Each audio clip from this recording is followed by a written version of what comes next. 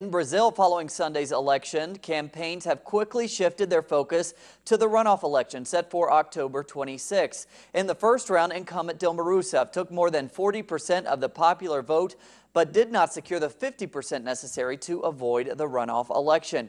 Rousseff will face conservative challenger Aécio Neves in the second round.